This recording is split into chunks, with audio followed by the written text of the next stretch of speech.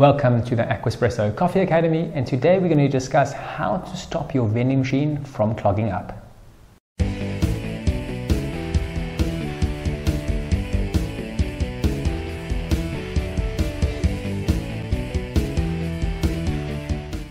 So one of the biggest downsides of coffee vending machines is the fact that they do use powder milk and it's not uh, it's not that the powder milk tastes bad, but the biggest challenge of powder milk is that it is prone to clogging.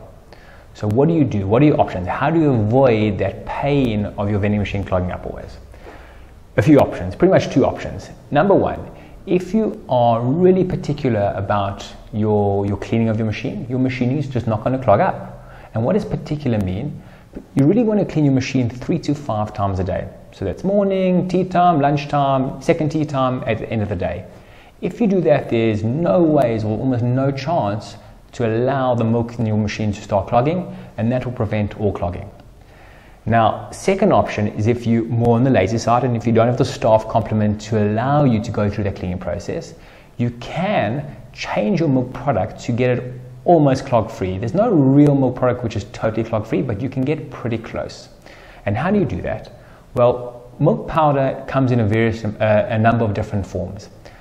Pure milk powder, which is usually your best quality, is literally pure milk powder. It's milk which has been dehydrated, and you're left with your milk powder. What most companies do is they add creamer in to essentially cheapen the milk powder as a filler, and the amount of creamer which goes in goes from varying various degrees, varying degrees from 10% up into about 90%. And what does creamer actually do to your milk powder? One, it makes it a lot more runny. Uh, number one. Number two, it changes the taste, unfortunately, and takes the taste further, further away from what real milk tastes like. So why do you do it besides for the cheapness? The biggest reason people do it is the more creamer you put in and the more anti-caking agent you put into your milk powder, the easier it flows, the easier it runs, and the less particular you need to be about your cleaning. And still you have to do, still go through your cleaning process at least once a day, but you could probably get away with once or maybe even twice a day. So I hope that helps. I hope you enjoy clog free coffee.